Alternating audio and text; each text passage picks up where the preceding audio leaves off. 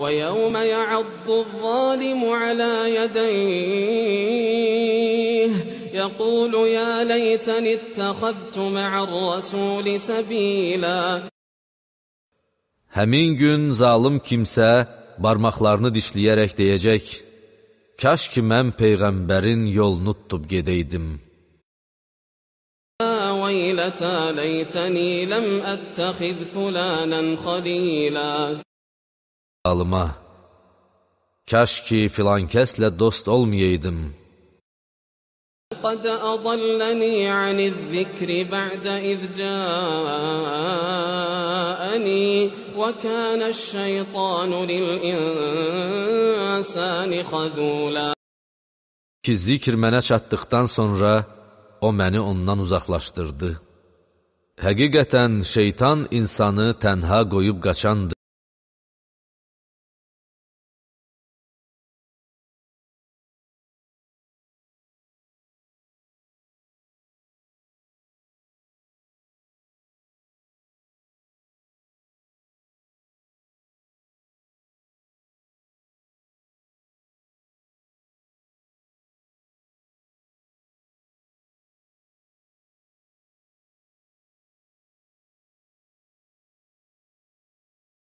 بسم الله الرحمن الرحيم.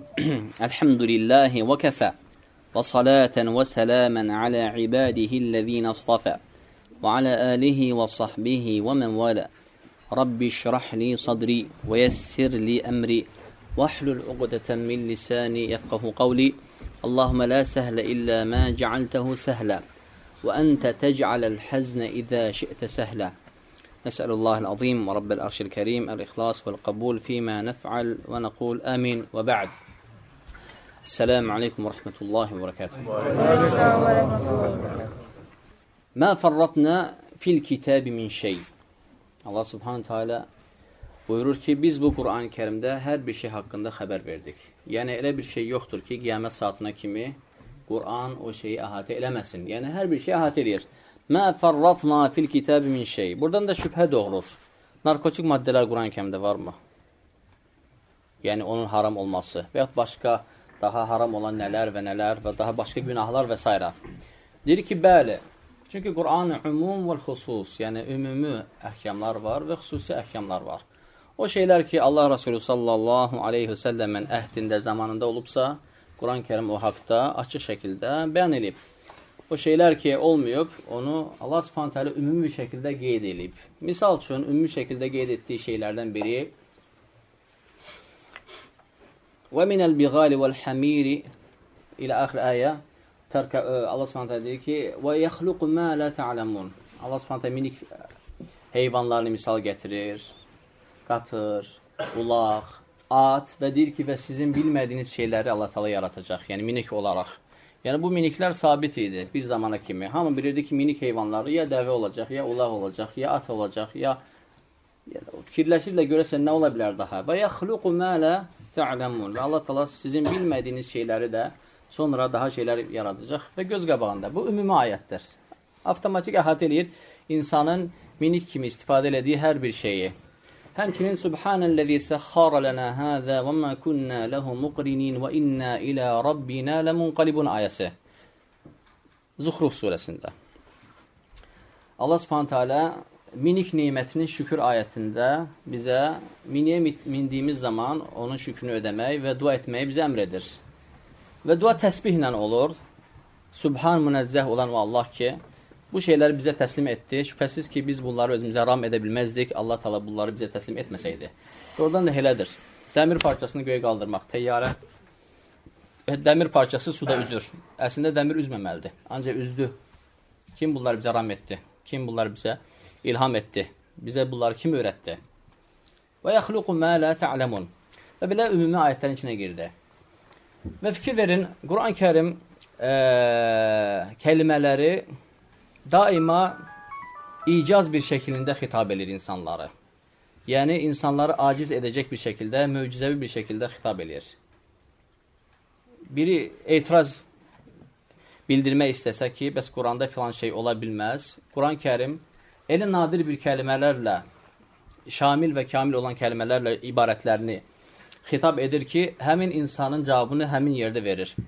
Həmin şübhə verən insan deyir ki, yaxşı, narkotik maddələri Quranda göstər. Fitrətim deyir ki, onlar haramdır. Ancaq Quranda bu haqda heç nə yoxdur. Deyir ki, o da var Quran-ı kərimdə. Deyir, harada? Deyir ki, ümumi ayətlərin içində, bayaqki gətirdiyimiz misal kimi. Fikir verin. Allah subhanətə alə əl-xamr, yəni şərab, çaxır deyək, araq deyək, nə deyirsiniz deyin. Bu haram içkini haram edəndə onu elə bir kəlimə ilə tələffüz elədi ki, xamr kəliməsinin içərisinə insanın ağlını qapadan, örtən hər bir şey daxil olur. Xamr sözün mənası buna ərəbcə xamr deyirlər. Diqqətlə baxın. Buna xamr deyirlər. Və yaxud da ximar deyirlər. Yəni örtü. O örtü deməli baş e, səthindən başlayır, ta sinəyə kimi düşür. Tamamilə örtür. Hətta çox üzr istəyirəm. Bu örtünü kişi xaylağı geyinsə heç kimə Allah gəlməz ki, bu çadranın altındakı olan kişi xaylağıdır. O qədər örtür. Aydındır?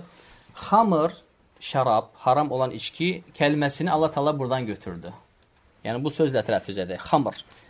Ya eyyuhellezine amenu innemel xamru vel meysru vel ansabu vel azlamu ricsun min ameliş-şeytani fectenibuhu leallekum tuflihun. Ey iman edənlər, həqiqətən xamr içkinin adını xamr adlandırdı və fal oxları, bütlər, ondan da qabaq qumarı zikr elədi, xamır, qumar, fal oxları və bütlər şeytan əməllərindən olan bir pisliklərdir. Onlardan çəkinin. Bəlkə həm nicat tapasız. Xamır sözünə baxın. Yəni dedik ki, lüğəti mənası örtən. Örtən. Sual veririk. Narkotik maddələr də içki kimi insan ağlını örtürmü? Cavab bəli. İnsan ağlını örtür. Elə isə Quran-Kərim o haqda da buyurmuşdu. İnsanın ağlını örtən nə qiyaməti kimi icad olunacaqsa, haram maddələrdən avtomatik xamr kəlməsinin içindədir. Bu da Quranın icazı. Bütün zamanlara məkanlara münasib bir şəkildə danışır ki, hamını aciz qoyur, heç kim onu aciz qoya bilmir. Mə farratna fil kitabı min şey. Biz bu, bu kitabda heç bir şey tərk eləmədik. Hər bir şey haqqında yəni xəbər verdik. Və buna olan aid olan misallar. Siqaret. Adam deyir ki, niyə siqareti haram elədiniz? Biz məkruh deyirik, bəzilə dedilər ki, mübahdır. Siz niyə haram etdiniz? Deyirik ki, Quran-ı Kərim haram etdi. Biz eləmədik. Deyirik, Quranda siqaret var. Deyirik ki, şamil olan ayətin içində var. Dedi, yaxşı, bunu da xamın içinə əhatə eləyəcəksiniz. Çünki siqaret ağlı bağlamır. Hamı bu ilə razıdır. Eləsə, bunu hansı ayətə nisbət elədik? Deyik ki, Əl-A'raf surəsindəki ayətə. Allah subhanahu cəllə cəlaluhu Teala Tövrat və İncildə gələcəkdə gələcək bir elçi haqqında xəbər verir. O da ki, Həzrəti Muhammed Mustafa aleyhissalatu vesselamdır. Və deyir ki, kitab əhli ona iman edəcəklər. Bəzilər təbii ki, iman edəcəklər. Və onun vəsfləri var Tövratda və İncildə. Əl-ləzīnə yəttəbi'unən rasulən nəbiyyəl ummiyyəl-ləzī yəcidunəhu məktubən indəhum fit-Təvrati vəl-İncil. O kitab əhli ki, onlara iman etdi, onlar həmin peyğəmbəri öz vəsfləri ilə öz kitablarında tapdılar. Yəni Tövratda və İncildə. Onun vəsfləri nədən ibarətdir? Onun vəsfləri nədən ibarətdir? Yəmuruhum bil ma'rufi. O yaxşı şeyləri əmr edir. Və yenhahum anil munkari və pis şeylərdən çəkindirir. Və yuhillu lahumut tayyibat. Tayyibat yaxşı, təmiz, pak, mubah şeylərin hamısını halal edir və yuhərrimu, haram sözü gəlir, fikir ver, və yuhərrimu aleyhimul xabaif və onlara xəbif olan, pislik olan hər bir şey haram edir. Sual veririk. Sigaret çəkən bir insan 7 yaşında uşağını sigaret çəksə, bəyənər, qəbul eləyər, şapalağı gendirər üzündən, elə deyil. Halbuki özü çəkir. Düzdürmü? Soruşsaq ki, ilk dəfə sigareti harada çəkdin, deyəcək ki, çox üzr istəyirəm, tualetdə. Bu şey yaxşı olsaydı orada çəkməzdi. Demək ki, ispat olundu ki, bu şey xəbifdir, yəni pislikdir. Aydındır? Pislikdir. O da atasının qorxusundan, təqva ona görə idi onda o zaman. Atasının qorxusundan gəlib gizlidə çəkirdi. Bu şey xəbifdir, pistir. Aydındır, pislikdir. Pis şeyin də məkanı oradır. Aydındır? Və fikir verin ayətə və yuhərrimu aleyhimul xabaif və onlara xəbis olan hər bir şey haram edən bir peyğəmbəri Tövratda və İncildə tapdılar və ona iman etdilər. Eləsi biz də iman etməyə daha əvlə, daha haqlı deyilikmi həmin peyğəmbərə ki, elə bir əhkamlarla gəldi ki, elə bir kitabla gəldi ki, o kitabın əhkamları şamildir, kamildir, əhatə eləyir bütün zamanlar, məkanları. Və yuhərrimu aleyhimul xabaif bu ayetin içinə daxil oldu. Və s.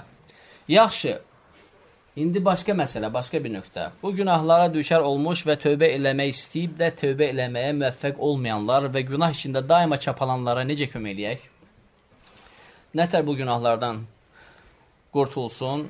Siz təəccüblənə bilərsiniz bu bəhs nöqtəsindən. Təəssüflər olsun ki, bizim qardaşlarımız arasında saydığımız günahlara girənlər var. Yəni, narkotik maddələr qoşanlar var və sayı təəssüflər olsun ki, artıq 10 barmağı keçir. Çünki görsənir ki, bu yayılır respublikada. Təəssüflər olsun. Yaxşı, nətər kömək elə o qardaşlara? Tövbə eləsinlər. Tövbə eləyə bilmirlər. Tövbə eləyə bilmirlər. Bunun əlacı var. Əlaclarından da biri, fikir verin, səhihdə gələn hədisə 99 nəfsi öldürən bir insanın misalı gəlir və deyir ki, mənə Allahı ən çox tanıyan bir insanı göstərir. Mən ondan nəsə öyrənmək istəyirəm. Və ona rahibin yolunu göstərirlər. Rahib, yəni bizdən qabaqki ümmətdə olan Allah ibadət edən bir kəs. Rahib Allahı ibadəti ilə tanıyır. Ancaq şəri əhkamları onda tam kamil deyildi. Rahibə deyir ki, mən 99 insan öldürmüşəm. Allah məni bağışlayar. Deyir, 99 nəfs öldürmüsən, bağışlanmaq istəyirsən, yəni. Və deyir ki, bağışlamaz Allah sənə. Çox böyük cinayətin var, günahın böyükdür. Bu da götürür, onu da öldürür və yüzü tamamlayır. Belki 100 nəfər olur. Yenə də peşmandır, yenə də tövbə eləmək istəyir, yenə də nəsə istəyir ki, bir bu bəladan qurtulsun. Və sonra insanlara müraciət edir ki, ey insanlar, Allah Taala'nın ən yaxşı tanıyan bir kəsə mənə yolunu göstərin, gedim ondan bir düzgün cavab alın və artıq onu alimin yanına gətirilir ikinci dəfə. Birincisi rahib idi. Yəni zahid gecə namazları qalxan, nafilə ibadətlər eləyən, ancaq şəri əhkamları zəif idi. İkinci kəs isə alim idi. Alimin yanına gələndə deyir ki, bax mən 100 nəfər öldürmüşəm. Allah təala bundan sonra məni bağışlaya bilər. Alim ona deyir ki, Allahla sənin aranda tövbənin kim bağlaya bilər, kim məhrum edə bilər? Təbii ki, Allah tövbə eləsən sidq qəlblə, Allah təala bağışlayar. Və həmin alim ona bu bəladan qurtulmağın çarəsini göstərir. O da nədir? Həmin o, o xəstəlikdən hicr etmək, yəni başqa yerə köçmək, başqa yerə getmək, həmin xəstəlikdən uzaqlaşmaq. Ya həmin xəstəlik əgər müəyyən bir şəxslərlə bağlıdırsa, o şəxsləri tərk eləməlisən. Əgər hansı bir məkanla bağlısa, həmin məkanı tərk eləməlisən. Misal üçün bardır, diskodur, nə bilim nədir, zibildir, oradan uzaqlaşmalısan. Əgər filan rayondadırsa, filan rayona keç. Köç get, çünki orada yaxın olanda hər dəfə getməlisən. İndi uzaq olacaq, çatdıra bilməyəcəksən, getməyəcəksən. Yəni, özünə kömək elə. Aydında çarələr tap özünə. Və alim də ona nə deyir? Sən şəhəri tərk eləməlisən, çünki o pis şəhərdir. Yəni, o ona görə pis şəhərdir, çünki ölüm hadisələri orada olurdu daima. Və deyir ki, salih bir insanların şəhərinə ona yol göstərir. Və hədisin axını bilirsiniz və həmin insan salih olan bir şəhərə tərəf istiqamət alır və yola düşür. Sonra əcəli səhranın ortasına gəlir. Əzab mələkləri və rəhmət mələkləri nazil olur. Hansı götürəcək və sonra hakim mələk göndərir Allah Subhanahu taala və arasında hökm kəsir və əlhamdülillah Allah təala lütfü ilə ə, tövbə etdiyi şəhərə yaxın olduğuna görə onu neynirlər? Həmin şəhərə, ə, cənnətə götürürlər çünki ə, tövbə elədiyi məqsəd tutduğu şəhərə daha yaxın idi.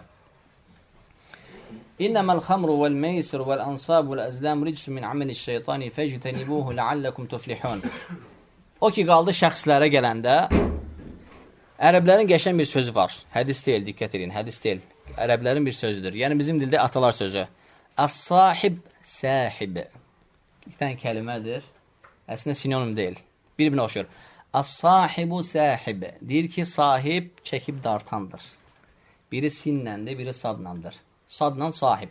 Sahib dartıb çəkəndir. Aydındır? Yəni, dostun nədirsə, sən də elə olacaqsan. Səni dartıb çəkəcək. Düz yoldadırsa, düz yolda dartıb çəkəcək. Pis yoldadırsa, pis yola dartıb çəkəcək. Əs-sahibu sahib. Və həmin insanları tərk eləmək lazımdır. Bu səbəblə siraya qaydaq, əlhamdülillah. Və sirada pis dostları misalını isə çəkəcəm. Fikir verin. Abu Talib. Abu Talib. Kimdir? Ali ibn Əbi Talibin atası. Ali ibn Əbi Talibin Həzrəti Əlinin atası Abu, Abu Talib.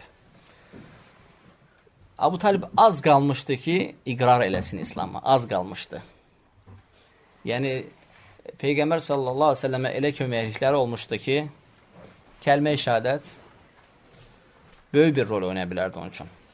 Ancaq onun dostları yaxşı insanlar deyildi. Abu Cahillər, Abu Həkəm zənnində olub Abu Cahillər, Abu Ləhəblər və başqa münafiqlər. İndi fikir verin, misala baxın. Abu Talib indi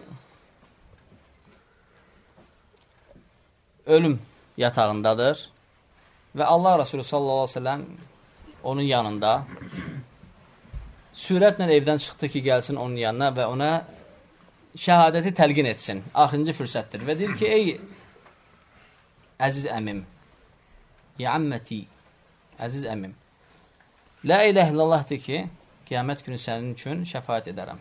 La iləh illallah dilən. Fikir verin, pis dostların təsiri. Bu zaman içəri kim girir? Abu Ləhəb, Abu Cəhil və onların tayı. Gəlib Abu Talibə baxırlar və xatırladır ki, Abu Talib, xatırladır ki, yaddan çıxartmasan kimsən, sən Abdülmuttalibin övladısan. Bizimcə dinimizin adı Abdülmuttalib dinidir. Yəni, fikir verir hardan vururlar, yaral, yəni, ən belə yaralı yerindən. Yəni, dinin adı, müşriklərin dinin adı Abdülmuttalibin dini. Təsəvvürlə, Abdülmuttalib də onun valideynidir. Ətərğəb an milləti Abdülmuttalib dədənin dinindən üz döndərsən, yəni öz doğma atanın dinini Məhəmmədin dininə dəyişirsən, yaralı yerindən toxunublar. Fikir verin. İndi Abu, Abu Talib tərəddüd eləyir. Həzrəti Muhammed sallallahu ve sellem baxır, deyir ki, Ya amməti, qul la ilahe illallah, əhəvcükə yevməl qiyaməti indəllah, av kəmə qari sallallahu ve sellem. Deyir, ey əziz əmim, la ilahe illallah dinən qiyamət günü sənin üçün şəfayət edəcəm Allahın yanında. Bunlar da baxırlar ki, Ya Abu Talib, ətarğəbu an millət Abdülmuttalib, Abdülmuttalibin övladısan, onun dinindən üz döndərsən, fikir ver necə? Və seçim pis seçim olur. Və hum yenhəvnə anhu və yenəvnə anh. Necə ki, ayət-i kərimədə Ən'am surəsində hər kəs bir tərəfə çəkir və o seçimini eləyir və həlak olur. Bu bir misal. Digər misal. Əbi Mu'ti adında bir nəfər olur Qureyşdən çox sakit xasiyyətli, daha doğru de, olar da desək ki, qorxaq bir xasiyyətli, heç kim incitməyən bir insan olur Qureyşdən.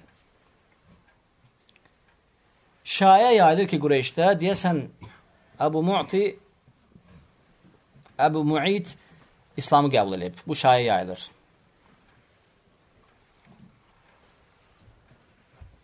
Və həmin bu insanın Əbu Mu'idin Şamda bir dostu olur. Bu hədisi İbn Abbas rivayət edir. Şamda bir dostu olur, Qureyşli. O Şamdan qaydanda evə gəlir və öz həyat yoldaşı müşrikdən soruşur ki, Məhəmməd öz fəaliyyətini yenə də davam edirmi? Aleyhissalatü vesselam. Deyir, bəli, ondan da fəal davam edir öz fəaliyyətini. Soruşur ki, onun dininə gələnlər çoxdur? Deyir, bəli, çoxdur. Yaxşı, dostum nətərdir? Əbu Muid deyir, pis. Deyir, ne üçün?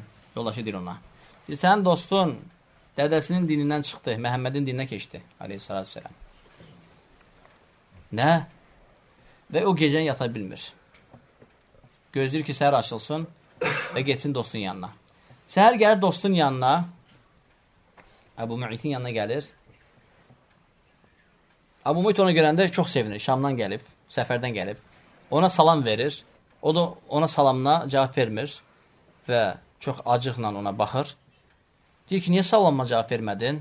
Deyir, çünki sən babalarının dinindən çıxmısan. Deyir, bunu Qureyş deyib sənə. Deyir, Qureyş bu haqda danışır. Deyir, mən Qureyşi necə inandırım? Qorxaq olur da, aydında. Mən Qureyşi necə inan inandırım? Mən necə onları rahat eləyim? Deyir, sabah get və Məhəmmədi çağır. Aleyhissalatü vesselam. Və məşhər qur. Orada Qureyşin başçıları olsun və Məkkə əhli olsun. Məhəmməd gələndə onun üzünə tüpür və ən aşağı sözlərlə söy. O zaman Qureyş rahat olacaq ki, sən hələm də dədələrinin dinindəsən. Aleyhi afdırız salat və təmmə təslim. Salavatullahi və selamu aleyh. Elə də olur. Görüş təyin olunur, məşhər yığılır, Məkkənin başçıları orada, Məkkə əhli burada və Həzrət Muhammed sallallahu aleyhi ve selləm təyin olmuş görüşə gəlir. Əbu Muid Həzrət Muhammed sallallahu aleyhi ve selləmin üzünə tüpürür. Hətta Həzrət Muhammed sallallahu aleyhi ve selləm üzünü silir. Və deyir ki, qanın halal oldu. And olsun ki, Kabənin qırağında, dağların qırağında səni görsəm öldürəcəm. Çünki Həzrət Muhammed sallallahu aleyhi xas olan bir şeydir. Onu sövmək, onu təhkir etmək dindən çıxardır insanı. Aydındır? Və bununla kifayətlənmədi və onu ən aşağı sözlərlə söydü. Cahiliyyədə ərəblərin söyüşü də əməli söyüş olub. Onlar çox pis söyərdilər. Fikir verin. Sonra Bədir döyüşü başlayır, məlumdur. Hamı Bədir döyüşünə gedəndə bunu da döyüşə qatırlar. Gör ki, nəsə bu getmək istəmir. Bilə, niyə getmirsən? Deyir, o kişi söz verdisə, sözünü yerinə yetirəndir. Aleyhi afdalus salat və təmmət təslim. Yəni, Həzrət Muhammed sallallahu aleyhi ve sellem nəzər tutur. Söz verdi ki, Məkkənin qırağına çıxsam, məni görsə öldürəcək. O da sadiq masluqdur. Bunlar da bilirlər. Məkkə əhli bilir ki, o sadiq masluqdur. Desə eləyəcək. Əgər deyib, deyibsə, deyibsə demək elə də olacaq qədərə.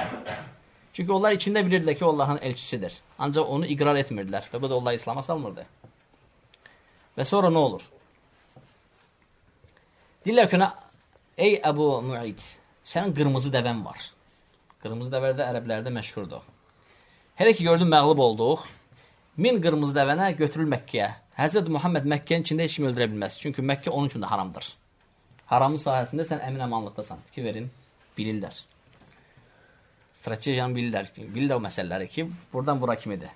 Dəvənə minirsən qırmızı dəvə. Qırmızı dəvə də qaçan dəvələrdir. Arıqdır, çəkiləri az olur.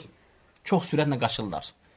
Başqa dəvələrdən fərqli olaraq onlar ətlə, südlə fərqlənmirlər. Məhz sürətlə qaçmaqla, yəni ata bənzəyirlər. Çox arıq olurlar və çox uzun ayaqları olur və çox sürətlə qaçırlar qırmızı, qırmızı dəvələr.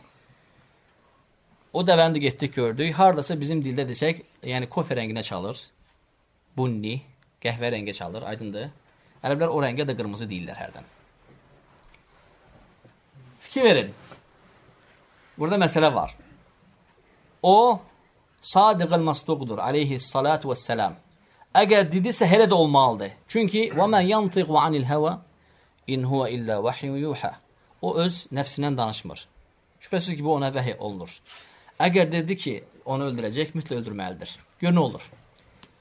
Bədir döyüşündə Məkkəllər məğlub olur. Bu da fürsət tapıb dəvəsinə minə bilir. Elə dəvəsi nə təzə götürülmüşdür ki, Allahın qədəri ilə dəvəsi onu yerə çırpır. Dəvəsi özü. Özü çox pis yerdə çırpır, palçığın içinə. Çırpır və oradan çıxa bilmir, dəvə də götürülür, qaçır. Və 70 nəfər Qureyşli əsir olur. Əsirlərin ölüm əhkamı hələm də nazil olmamışdı. Və Əbu Muid deyir ki, bunlar arasında yalnız məni öldürəcəksən, hələmi? Deyir, bəli, yalnız səni. O əsirlər arasında yeganə öldürülən olur. İlk olaraq. Aydındır. Fikir verin. Burada da misal nəyə gətirdim? Pis dostlar, pis tanışlar. Pis dostlar və pis tanışlar. Fikir verin onu hara gətirdi? Allah subhanahu teala bu hadisənin şanında Furqan 27-ci ayəti nazil etdi. 27, 28, 29. Qeyd edin. El-Furqan 27-ci, 28-ci, 29-cu ayətlər bu səbəblə nazil oldu. Və yevmə ya'uddu zalimu alə yədeyhi O gün nəfsinə zülm etmiş bir kəs 10 barmağını ağzına salacaq peşmançılıqdan. Demədi bir barmaq. İnsan peşman olanda deyir ki, ay, ət başına vurur. Düzdür? Bir barmağı qoyur da. Yəni, görməşik iki barmaq kimsə qoysun. Qiyamət günü Allah Teala onun haqqında deyir ki, və yevmə, yəni qiyamət günü, ya'addu zalimu alə yədeyhi. Yədeyhi iki əl mənasına gəlir. Barmaq hesabı ilə 10 barmaq eləyir. O gün nəfsinə zülm etmiş həmin o kəs peşmançılıqdan 10 barmağını ağzına salacaq. Və yevmə ya'uddu zalimu alə yədeyhi yəqulu yə leytən ittəxaztu ma'ar rasuli səbilə. Kəş ki, mən Məhəmmədin dalınca ilə axıra kimi gedərdim. Hələ deyəcək qiyamət günü. Yə veylətə leytəni ləm əttəxiz fulanın xalilə. Vay olsun mənə. Kaş ki, mən filan kəsləri dost götürməzdim. Kaş ki, cəsarətli olardım. Yə veylətə leytəni ləm əttəxiz fulanın xalilə. Ləqəd əzəlləni ani zikri bə'di izcəəni. Mən az qalmışdı iman edim. Və yaxud iman etmişdim, iqrar qalmışdı, bəyan eləmək qalmışdı. Ancaq döndüm fikrimdən. Çünki dostlarım yaramırdı, mən onlardan qorxdum Allah əvəzinə. Laqad adallani ani zikri. Zikirdən yayındırdılar məni onlar. Ba'de izca'ani o zaman ki artıq zikir gəlib mənə çatmışdı. Və kana şeytanu lil insani khadula. Həqiqətən şeytan insanı pis yerdə buraxıb qaçandır. Fikir verin. Həmçinin Həşr surəsində şeytan insana deyir ki, narahat olma. Dindən çıx, hər şey düzəldəcəm. Mənlikdir. Elə ki, dindən çıxanda şeytan deyir ki, İnnə əxafullah rabbəl aləmin. Dindən çıxan kimdir ki, mən aləmdən Rəbbi olan Allahdan qorxuram. Şeytan deyir. Həşr surəsində təsəvvür edin. Allah təala onun haqqında hekayəsində gör necə aldadır. Şübhəsiz ki, Rəbbil aləmdən qorxan deyil. Sadəcə ona elə bir kərək gəlir. Pis dostları misalı. İkinci misal. Üçüncü misal Ya eyyuhel müddəthir qum fəənzir və rabbəkə fəkəbbir və thiyəbəkə fəttahir ilə axir ayət. Sonra Allah Subhanahu taala Qureyşdən bir nəfərin misalını çəkir. Bu insan zəki və ağıllı olur. Həzrəti Muhammed sallallahu əleyhi və səlləm dediklərini qəbul eləyir hardasa, düşünür, fikirləşir və bir dənə qaldı iqrar eləmək. Yəni tələffüz eləmək, əşhədü ən la ilahə illallah. Deyir, səbr eləyim, bir gündə möhlət götürüm, sabah iqrar eləyəcəm. Gedir evə, innəhu fəkkərə və qaddar. Fəqutilə keyfə qaddar. Thumma qutil, keyfə qaddar. Thumma nazar. Thumma abəsə və basar. Thumma ədbər və stəkbər fəqal in hədə illə sihrun yuqsar. Allah subhanət hələ həmin o Qureyşlinin misalını çəkir. O evə getdi, dedi ki, bəli, artıq yəqin oldum ki, Məhəmməd haqdır, onun dini haqdır, bu Quran Allahın kəlamıdır. Ancaq mənim malım var, mülküm var, səlahiyyətim var, saltaniyyətim var, sözüm keçir. Yaxşı, mən Məhəmmədin dəstəsinə qoşulsam, acaba mənə nə gözləyir, fikirləşir. Saltaniyyətim gedəcək, malım gedəcək, mülküm gedəcək, sözüm gedəcək və mən kasıbların içində olacam. Yox, mənə əl vermir. İnnəhu fəkkar və qaddar. O fikirləşdi və götür qoy elədi. İnnəhu fəkkara və qaddar. Fəqutilə keyfə qaddar. Necə götür qoy eləməli, eləməsi ilə özünü həlak etdi. Fəqutilə keyfə qaddar. Thumma qutilə keyfə qaddar. O necə pis bir götür qoy elədi. Thumma nazar. Sonra fikirləşdi, sonra baxdı. Sonra üzünü turşutdu. Dedi, xeyr, bu doğrudan da bir sehirdir, ey güreşlər. Mən də sizdənəm. Fikir. Yəqin olandan sonra, çünki pis dostlar. Fikir verir ki, dostlarım güreşdir. Hər şey onlardadır. Məhəmməddə bu saç heç nə yoxdur. Yox, əl vermir. Fikir verin. Pis dostlar həqiqətən öz, özünü göstərir. Daima göstərir öz e, səbəbini. Yalnız əgər Allah subhanət hələnin o insana kövni qədərində lütfü və rəhməti olarsa, o zaman o insan pis dostlarla bəlkəm qurtara, qurtara bilər. Buna da üçüncü misal. Əbi Süfyan İbni Harifə. Bu sizin tanıdığınız Əbu Süfyan İbni Muaviyyə deyil, başqasıdır. Muaviyyə İbni Əbi Süfyan deyil. Yəni Muaviyyənin atası olan Əbu Süfyan deyil. Bu Əbu Süfyan, Əbi Süfyan İbni Harifə. Bilirsiniz kimdir bu? Bu, Peyğəmbər sallallahu aleyhi və səlləmin dost toxmaca əmisinin uşağıdır. Harifə Peyğəmbər sallallahu aleyhi və səlləmin əmisidir. İbni Harifə, o da Əbi Süfyan, onun ismidir, kuniyə kimi verilib. Bu insan, demək olar ki, ən gec İslamı qəbul edənlərdən biri idi. Səbəb də məhz danışdığımız hekayələr. Qureyşin təziqi, Qureyşin daima yuxarıda olması və tərəddüd və s. Az qalıb Məkkə hamısı İslamı qəbul edib. Əbi Süfyan İbni Harifə hələm də İslamda deyil, təsəvvür edin. Artıq birazdan fəth olacaq.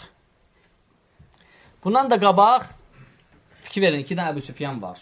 Var Muaviyyənin atası Əbu Süfyan, aydındır. Bir də var Əbu Süfyan İbni Harifə. Bu başqa Əbu Süfyandır. Bu Əbu Süfyan İbni Harifə Peyğəmbər sallallahu aleyhi və səlləmə bənzəyən 5 nəfərdən biri idi. Xilqətdə. Xilqətdə, yaratılışda.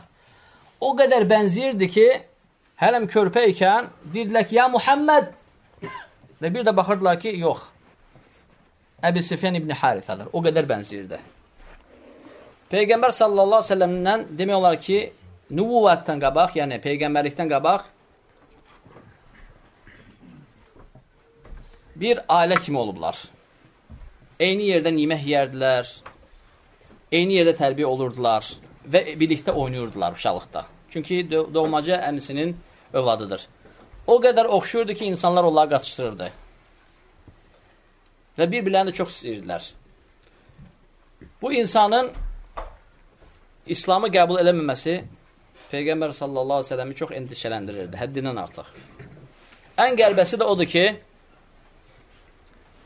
bu insan Peyğəmbər sallallahu əleyhi və səlləmə ədavət bəsləyənlərdən idi və onu söymüşdü Məkkədə. Çox pis, təhkiran sözlərlə. Hətta onun qanı da halal olmuşdu.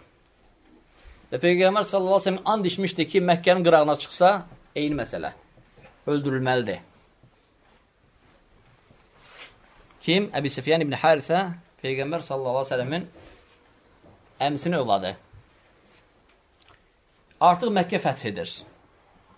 Mədinəlilər böyük bir dəstəklə Məkkənin fəthinə gedir. Məkkədə demək olar ki, İslamı qəbul eləməyən demək olar ki, qalmadı.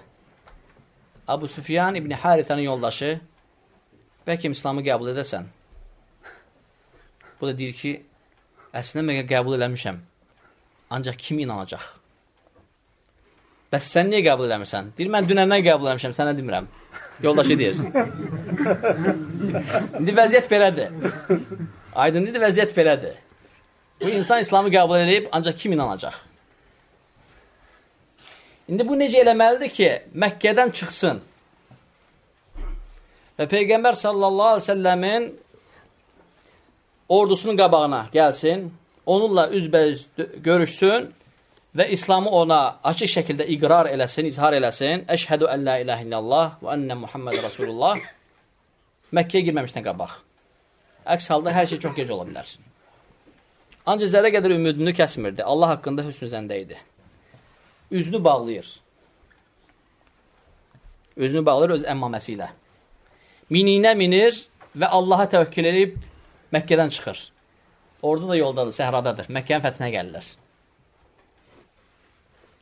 Allah subhanət hələnin kövünü qədərindən, çünki artıq üçüncü misal keçirik, biz dedik ki, yalnız bəzi insanlar istisna ola bilər ki, Allah talan lütfü var o insanlara. Allah talan kövünü qədərindən sahabələr onu hiss eləmədən ordun içindən keçir, düz gəlir Peyğəmbər sallallahu əleyhi və səlləmin çadırasının xeyməsinin yanına. Heç kim onu hiss eləmədən. Çünki əhd almışdı kim onu görsə öldürsün. Heç kim də onu görmədi, öldürə bilmədi. Budur artıq çadran qabağındadır. Nətər girəcəm? Çadran qabağında Əbu Bakır, Omar, Osman, Ali, başqaları. Vəziyyət son dərəcə gərgindir. Bismillah təvəkkəl Allah bir müddət artıq düz şadranın içindədir. Peyğəmbər sallallahu əleyhi və səlləm üzbə üzə üzünü açdı dedi ki: "Əşhədü en la ilahe illallah və enneke Muhammed Rasulullah." Hər şey belə qəflətən olur. Ancaq fikir verin hadisələrə. Peyğəmbər sallallahu əleyhi və səlləm üzünü çevirir və onu danışdırmır və çıxır gedir. Deyir: "Əşhədü en la ilahe illallah və enneke Muhammed Rasulullah." Peyğəmbər onu danışdırmır. Ona son dərəcə qəzəblidir. Yəni, sanki demək istəyir ki, sənəmi qalmışdı bu ən axırıncı İslamı qəbul eləmək. Mənə çörək yiyən, mənə birlikdə yatan, doğmacı əmimin övladı, əhli beytim mənim. Məni söyər, mənim düşmənim, sən mi çıxmalıydın? Mənim ekizim az qalıb. Yəni, sanki bunu demək istəyir. Peyğəmbər səsəm ona çox incili idi, həddindən artıq. İndi lazım idi onu körünü sındırsın. Vəziyyət son dərəcə gərgindir. Gəldi Abbaqın yanına şəfayət eləməyə. Ya Abbaqır, mənə şəfayət elə Peyğəmbər səsəm yanında. Abbaqır üzünü kördü. Danışdırmır onu. O da çıxıb getdi. Gəldi Omarın yanına. Omar yanına gələndə düşündü ki, kaş ki gəlməyədim. Dişindən gələn hamısı üzünə dedi. Getdi qatından keçən sözlər dedi onu. Hətta Bakr dedi ki, ya İbn Xattab, Allahdan qorx. Peyğəmbərin əhl-i beytidir. Fikir verin.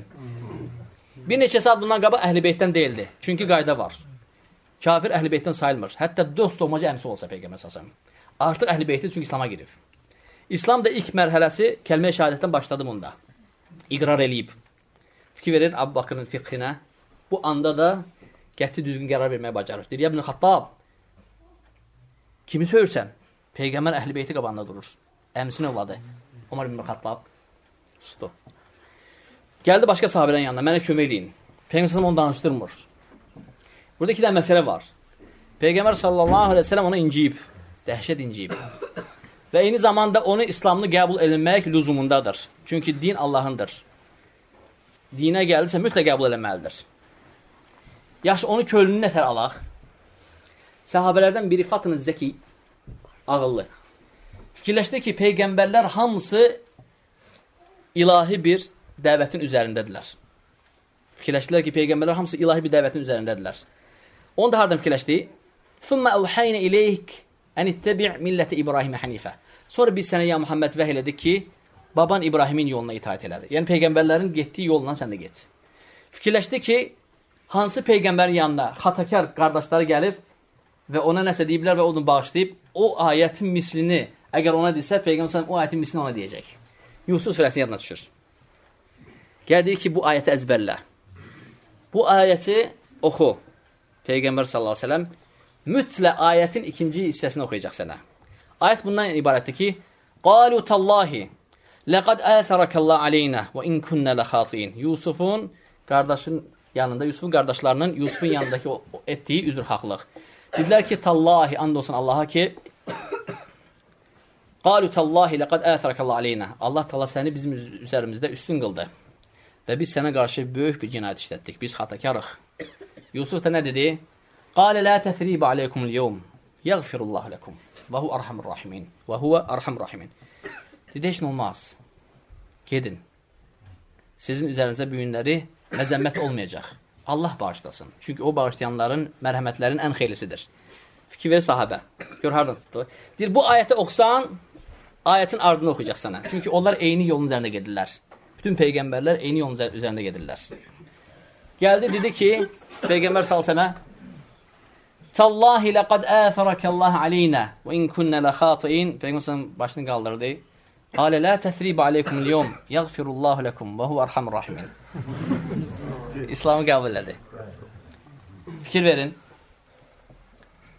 Yenə qayıdıram köhnə mövzuya, köhnə mövzuya. Mütlə həmin insanlar günahı kimlə edirlərsə, həmin insanlar mütləq tərk eləməlidirlər. Mütləq. Və həmin insanlardan uzaq durmalıdırlar.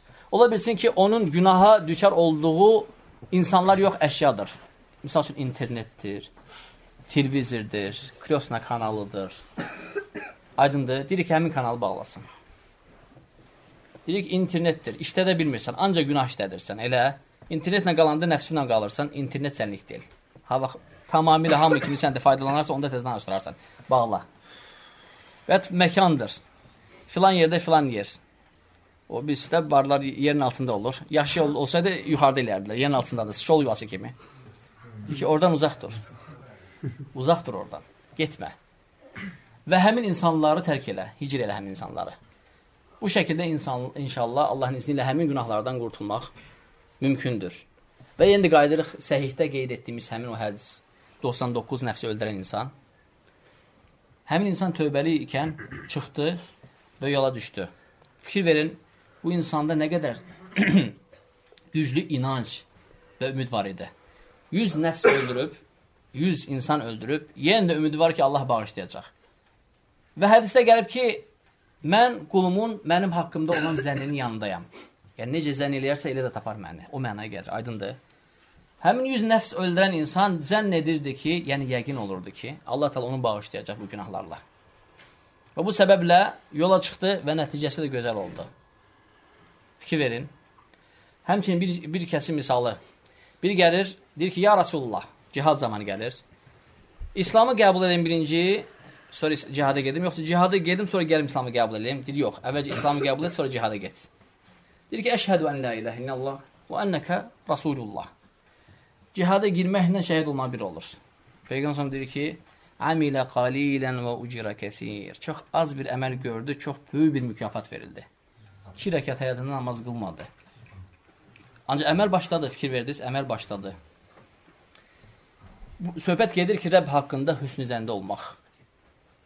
Və Peyğəmbər sallallahu aleyhi ve səlləmin öz ümmətinə vəfatı zamanı etdiyi ən son vəsiyyətlərdən də biri Rəbbiniz haqqında hüsnü zəndə olun, xoş zəndə olun.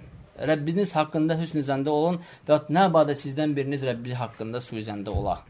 Ən son etdiyi vəsiyyətlərdən biri As-sala, as-sala və mə mələkət əməlukum Əhsinu zannə billah, əhsinu zannə billah, əhsinu zannə billah. Həccac ibn Yusuf İraqın əmri və İslam dünyasının xəlifəsi, əmirlərindən biri. Zülmü məlumdur onun.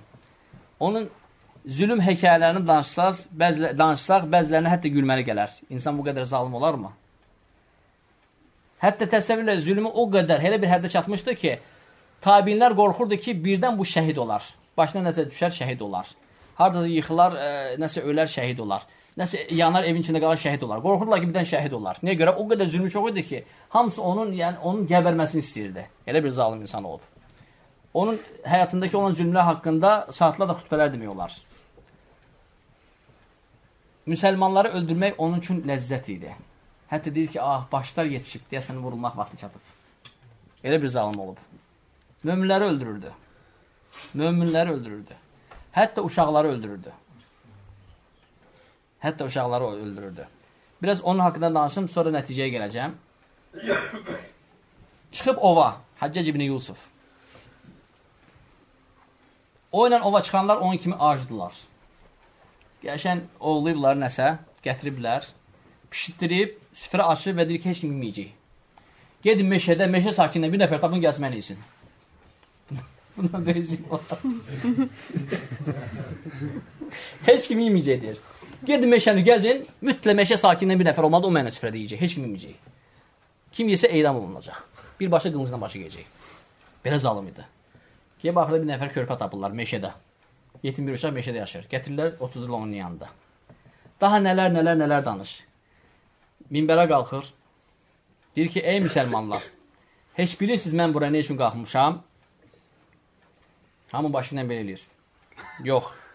Deyir, bilmirsinizsə, elə isə mənim burada nə işim var? Düşür aşağı. Kütbəni batil edir. Gələn cümə deyirlər ki, dəhşət zalım olun. Onun zül zülmü haqqında hekayələr danış, qıssalar, nə qədər, tarix boyu.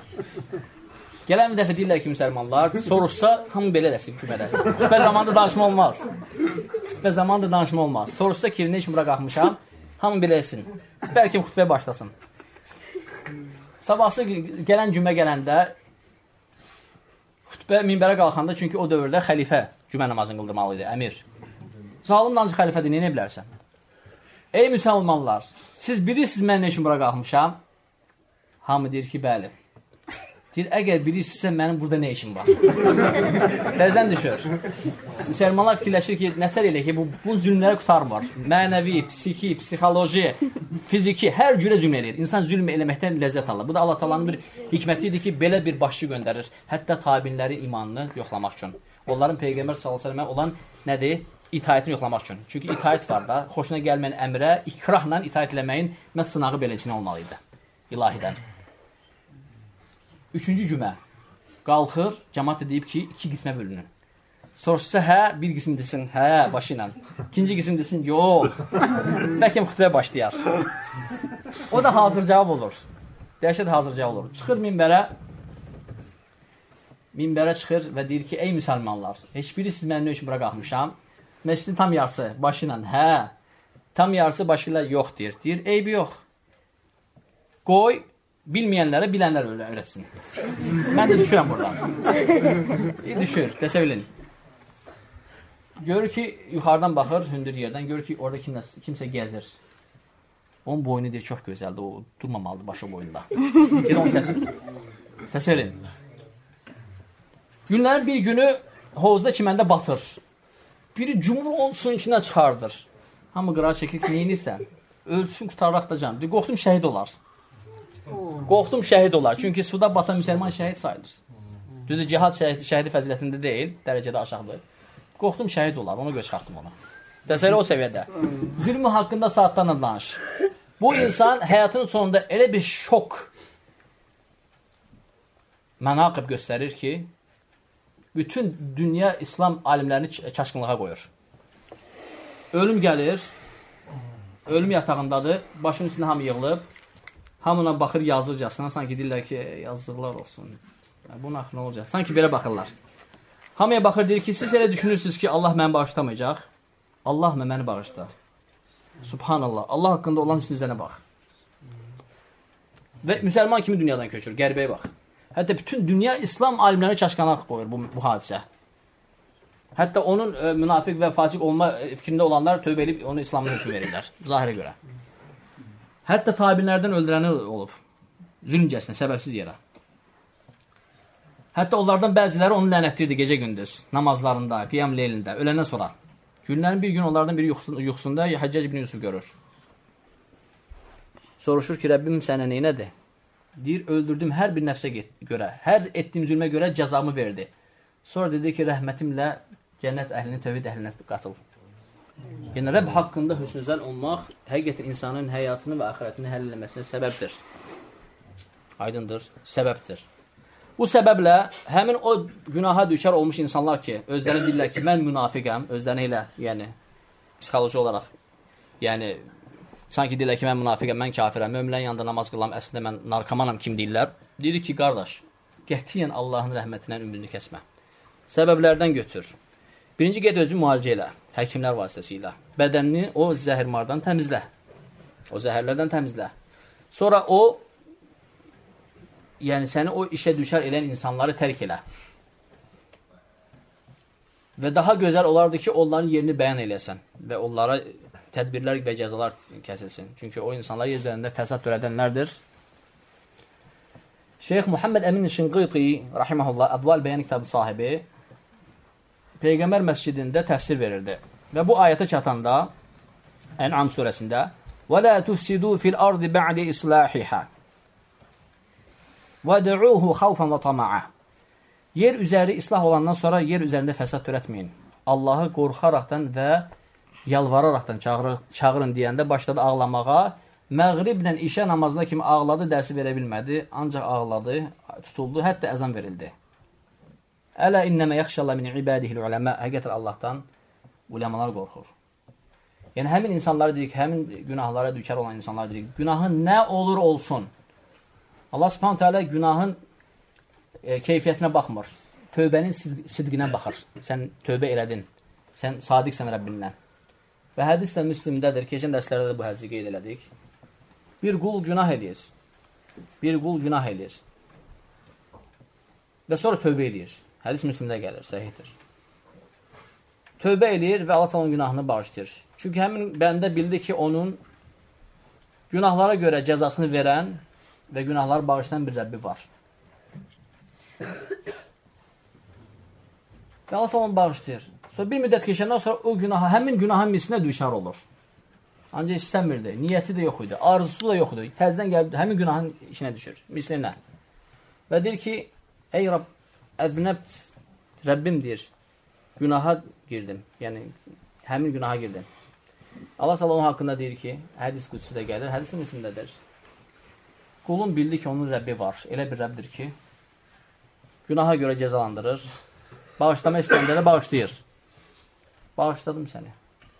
Bir müddətdən sonra eyni günah eləyir. Təzdən deyir ki, ey Rab, ədnət, məni bağışla. Yenə də Allah deyir ki, qulun bildi ki, onun Rəbbi var. Günaha görə cəzalandırır və günaha tövbə eləyəni də bağışlayır. Yenə də bağışlayıram. Və sonra yenə də o günah ondan hasil olur. Allah təala bilir ki, bu insan tövbəsində sadiqdir, vəfalıdır, tövbəsi də nasuhdur.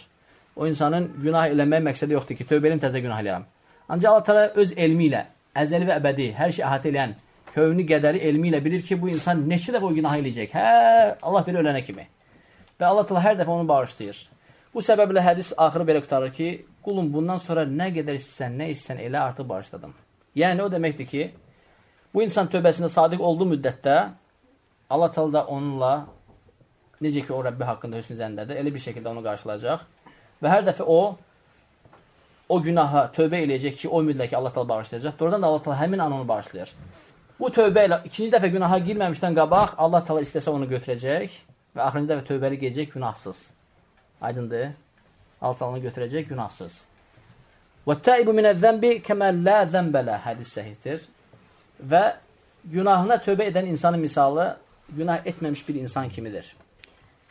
Həmçinin Furqan surəsində Allah Subhanahu taala illə mən təbə və əmənə və amilə əmələn salihan fəulaikə yubəddilullahu seyyiəti bihəsənət və kənə Allah qafura rahimə. Allah təala həlak edən üç böyük günahı sayır. O kəslər ki, Allahla başqasını çağırmazlar, ona tay tutmazlar, ona şərik qoşmazlar. O kəslər ki, haqqı olmadan nəfs öldürməzlər, insan öldürməzlər, yəni. O kəslər ki, zina eləməzlər, əgər edərlərsə, O zaman onları cəhənnəm gözləyir. Onlar orada qalarlar, əbədi. İllə mən təb. Yalnız tövbə edənlər istisnadır. Və əmən. Tövbə edib iman edənlər. Və amilə əmələn salihən. Və salih əməllər görənlər. Fəulaikə yubəddilullahu seyyiətim həsənət. Allah təala onların günahlarını savablarla əvəz edər. Və kənəllahu ğafurur rahimə. Allah təala bağışlayandır. Qiyamət günü bəndə gələcək və Allah təala onun kiçik və böyük bütün günahlarını tərəzidə ölçəcək. Əgər günahlar kiçikdirsə, təsəvvür elə trilyon qədər günah var, kiçik günahlar. Trilyon. Ən böyük rəqəm, hə? Əgər böyük günahlara tövbə edibsə, Allah təala kiçik günahları boyuna götürür Subhanahu taala. Lütf olaraq özündən. Dəlil Nisa surəsi: "İn tectenibu kebaira ma tunhaun anhu nukaffir ankum seyyiatikum və nudkhilukum mudkhalan kerima." Əgər siz böyük günahlara tövbə eləsəz, kiçik, kiçik günahları hamısını bağışlayacağıq. Allah vəd verir. Və sonra Allah təala böyük günahlar keçəcək. Allah təala onu hesaba çəkəcək. Niyə elədin? Niyə üçün elədin? Harda elədin? Hamısı isbat olunacaq. Hansı günah tövbəli, tövbəlidirsə, o da bağışlanır. Hansı günah tövbəlidirsə, o da bağışlanır. Və Allah təala möminlərin hesabını qiyamət günü hazan edəcək. Necə ki, bu haqda İnşiqaq surəsində gəlib. Və Allah təala kafirlərin hesabını şiddətli edəcək.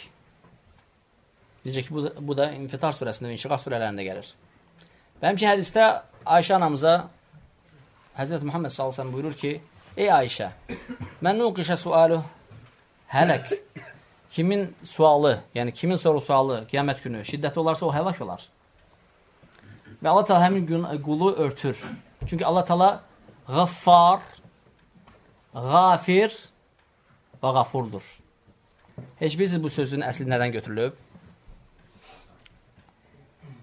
Ghafara məslərindən bu kəlmənin əsli örtmək mənasına gəlir. Örtmək. Buna da misal Ləbisən nəbiyyü sallallahu aleyhi və səlləmə yevməl fəthil miğfər. Allah Rasulü sallallahu aleyhi və səlləm fəth günü başına miğfar geyindi.